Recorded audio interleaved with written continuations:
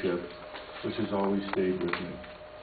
And he said, of all of the work that scholars do in our attempt to create new knowledge, perhaps 10% of that ends up being truly valuable to other scholars and people build on it and it, it, it joins the canon and it is valued and is wonderful.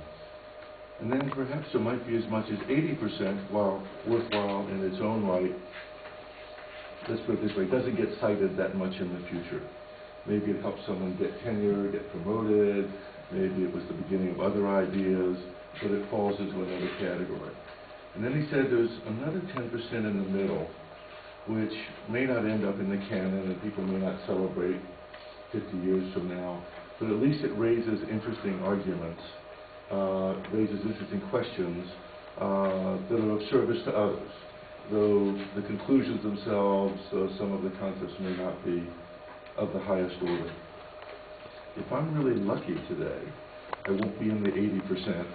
Maybe I'll be in the middle 10%. But I'm here to start an argument. Uh, the title of my presentation is The Counter Coriolis Effect Contemporary Literary Journalism in a Shrinking World. Um, I, I must confess that sometimes the, the scholarly process produces an idea that's somewhat amorphous and hard to get your hands on. But you know that it might have promise. It seems interesting and you want to think about it some more. And then perhaps the worst thing that happen to you is you come up with a wonderful title for it. And you just fall in love with the title. And you say, I can't let this go. I have to keep going. And I have to confess, I'm not sure that I should have kept going. but I so fell in love with the title that you have to suffer the results of it now. Uh, if Tom Friedman and others are correct, uh, for much of the world today, uh, the defining reality, at least for the next few decades, uh, will be globalization uh, in all its forms economic, political, cultural, social, etc. Uh, the world is shrinking. The question arises then what, if any, might be the journalistic dimensions of this phenomenon? Is there a journalistic aspect to globalization? And if, at least for the sake of argument, one posits that such a dimension exists, that there is a journalistic dimension, uh, what then would be the literary journalism element or elements of the journalistic dimension?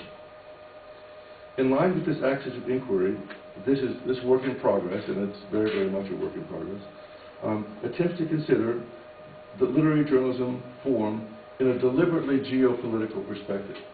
As far as I know, at least for contemporary literary journalism, I don't know many other scholars doing this. Because literary journalism most certainly has had, uh, has the potential for profound, long-term, even world historical effects. I don't think most any of us would disagree with that, simply because there are an awful lot of examples of it. Um, I would offer John Hersey's Hiroshima and the rise of the ban the bomb movement in the United States and in the UK and elsewhere. Uh, perhaps most recently, uh, Seymour Hersh's dispatches from Abu Ghraib in, in Iraq and the changing tide of public opinion about what I would call the American misadventure in Iraq.